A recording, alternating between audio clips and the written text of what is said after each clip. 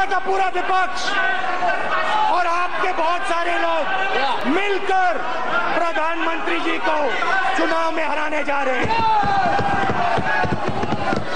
अंत में मैं आपको एक बात बताना चाहता हूँ। आप सोचोगे आप सोचोगे कि मेरे दिल में प्रधानमंत्री के खिलाफ आप सोचोगे कि मेरे दिल में प्रधानमंत्री के खिलाफ गुस्सा है क्रोध है नफरत है।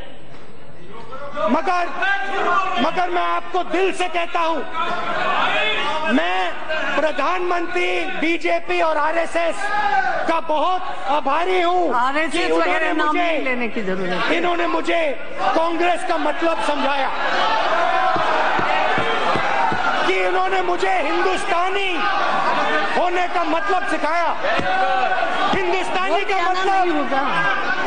हिंदुस्तानी का मतलब चाहे तुम्हें कोई भी कुछ कह दे तुम्हारे खिलाफ कोई भी कर दे झूठी बात बोले गाली दे लाठी मारे तुम्हारे दिल में उसके लिए प्यार होना चाहिए। ये आपने नरेंद्र मोदी जी और बीजेपी आरएसएस ये आपने मुझे सिखाया है। और इसके लिए मैं आपको दिल से अंदर से धन्यवाद करना चाहता हूँ। कि आपने मुझे मेरा धर्म सिखाया आपने मुझे शिव जी का मतलब समझाया और आपने मुझे हिंदू होने का मतलब समझाया। इससे बड़ी बात हो ही नहीं सकती है। और इसके लिए मैं आपका धन्यवाद करता हूँ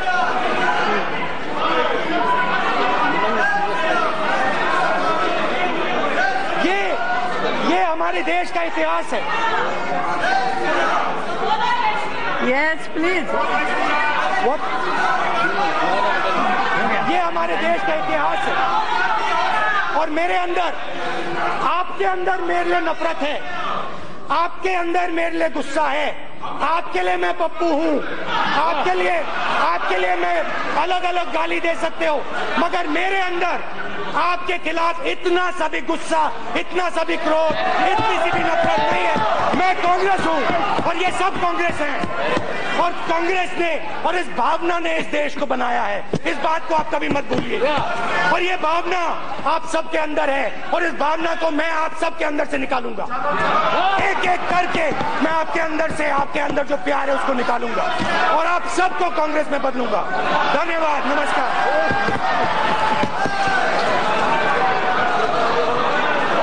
yes Nirmala ji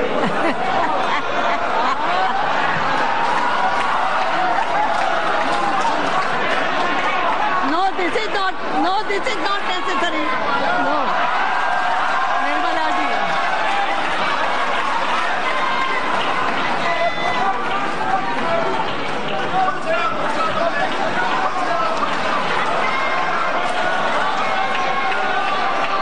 Nirmala Nirmala ji wants to say something.